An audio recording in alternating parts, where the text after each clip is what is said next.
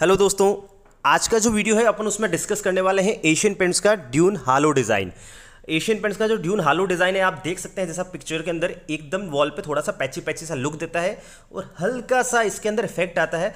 कोई ये ज़्यादा अपन बात करें तो फूल पत्ती वाला डिज़ाइन नहीं है और एब्स्ट्रैक्ट अपन डिज़ाइन कह सकते हैं रैंडम डिज़ाइन इसके अंदर कह सकते हैं। आजकल यही ज़्यादा डिज़ाइन जनरली चल रहा है दोस्तों। तो आज का ये जो वीडियो है, उन सभी लोगों के लिए हेल्पफुल रह सकता है जो एप्लीकेटर हैं और जो इस डिज़ाइन को सीखना चाहते हैं और उन कस्टमर्स के लिए भी जो अपने घर में ये डिज़ाइन कराना चाहते हैं दोस्तों। ये एक नॉर्मल सी वॉल है जिसके ऊपर बेस वाइट का कॉट लगा है प्रीमियम इमल्शन का। ये एशियन पेंट का रॉयल प्लेड्यून है। कलर कोड है एम फोर वन फोर जिसका ये मटेरियल ऐसे तैयार होता है पूरा।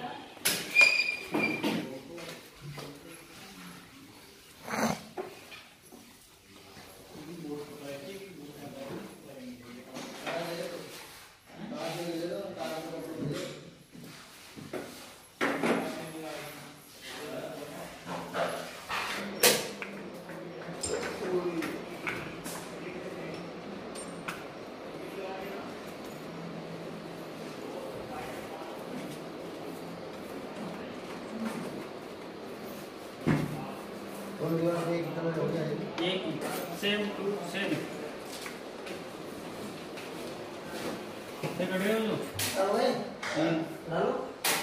इसका एक कोट लगने के बाद में ऐसा है। अभी इसका फाइनल कोटिंग बाकी है।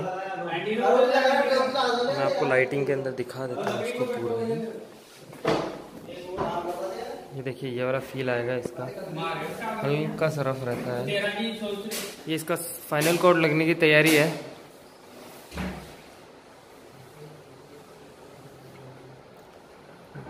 एशियन पेंट्स का रॉयल प्लेट ड्यून टेक्सचर हो रहा है ये।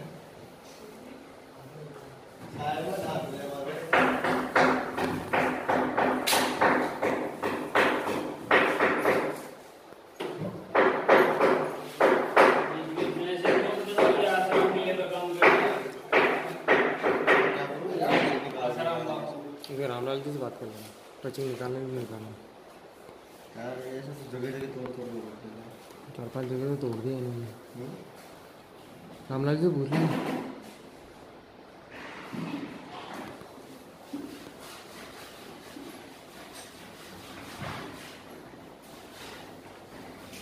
पाँच मिला के निकाल जूस का किया दो कलर ये रूलर से पहले इसका कोड लग रहा है। ये स्वर्ल टूल से इसका डिज़ाइन बन रहा है। ये वाला डिज़ाइन आप देख सकते हैं। इसका फाइनल कोड लग रहा है ये। स्वर्ल टूल बोलते हैं इसे। आप लाइटिंग में भी देख लीजिए। दूर से कैसा इफ़ेक्ट आ रहा है। एकदम लग्जरी फिनिश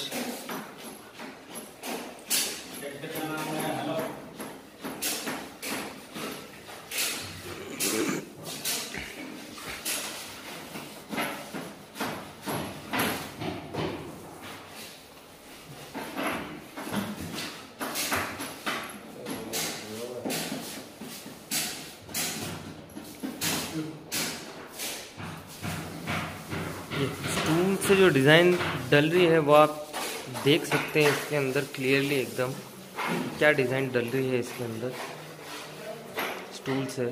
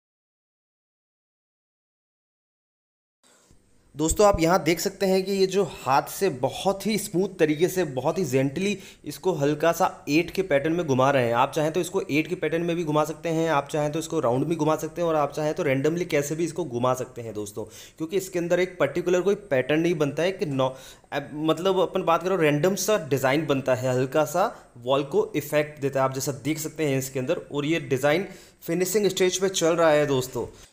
अब दोस्तों लास्ट टाइम अपन क्या करेंगे? इस जो टूल है, उसको अपन एक बार पूरी वॉल पे वापस पूरा घुमाएँगे। रैंडम जैसे ये जो पैटर्न बनाया है उसको, इसका रीज़न ये रहता है कि वॉल के अंदर कहीं पे भी अगर जॉइंट रहता है, या कहीं पे भी जो मटेरियल है अगर वो ज़्यादा रह जाता है, या कहीं पे भी पैटर्न नहीं बना हो तो वो इस चीज़ के अंदर जो लास्ट अपना, अपन जो कोट कर रहे हैं, जो डिज़ाइन बना रहे हैं, इसके अंदर वो चीज़ कवर हो जाती है दोस्तों। तो इस चीज़ का हमेशा ध्यान रखें, कोई भी अगर अपने को लग रहा है जॉइंट है या कोई पार्ट छूट गया है तो आप हल्का सा इसके अंदर वापस कर दीजिए, ताकि आपका जो डिज़ाइन है वो प्रॉपर तरीके से बन जाएगा दोस्तों। दोस्तों, अपन देख सकते हैं जो इस डिज़ाइन का फील है, आपको मेरे हिसाब से अब दिख रहा होगा। पूरा इसका जो फील है, वो आ गया है ऑलमोस्ट अपन खाली इसका फाइनल टचअप मार रहे हैं बट जो डिज़ाइन रहता है, वो डिज़ाइन का जो पैटर्न बनता है, वो यही बनता है। हल्का सा इसके अंदर पैची पैची सा लुक आता है। कोई इसके अंदर फूल पत्ती वाले डिज़ाइन अपन नहीं डालते हैं दोस्तों। इसीलिए इस डिज़ाइन को बहुत ही ज़्यादा लग्जरी एंड एलिगेंट अपन डिज़ाइन कह सकते हैं दोस्तों। दोस्तों, आप देख सकते हैं डिज़ाइन ऑलमोस्ट फाइनल होने वाला है। मतलब लास्ट में जो कॉर्नर है, वहाँ पे अपना चल रहा है। आपको दिख रहा होगा दोस्तों, जो जो टूल है अपन इसको यहाँ पे घुमा के इसको फाइनल फिनिशिंग दे रहे हैं दोस्तों। आई होप दोस्तों ये वाला जो डिज़ाइन है, आप सभी लोगों को बहुत ज़्यादा पसंद आया होगा। आप चाहे तो अपने घर में इस डिज़ाइन को करा सकते हैं दोस्तों।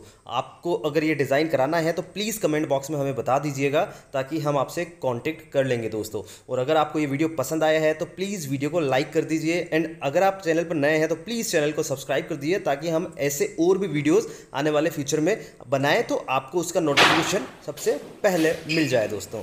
तो चलिए दोस्तों, मिलते हैं अगले वीडियो के अंदर, तब तक के लिए बाय बाय